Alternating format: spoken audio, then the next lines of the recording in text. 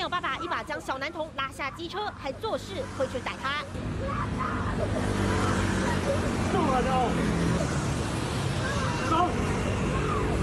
爸爸情绪一来，连两次推倒儿子不打紧，男童站起来还被踹，拉爸爸裤子求他别走，又被踹一次。最后爸爸居然一不做二不休，车骑了就要走，男童赶快冲上去拉机车，结果被拖行十公尺，民众目击吓坏了。囡仔盐捌啦，伤咸啦。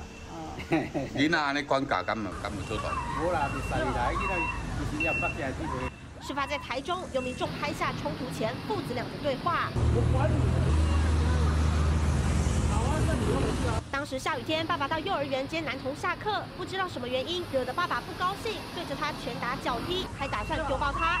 男童幼儿园的老师听到也相当惊讶。呃，爸爸在这一部分算是还蛮。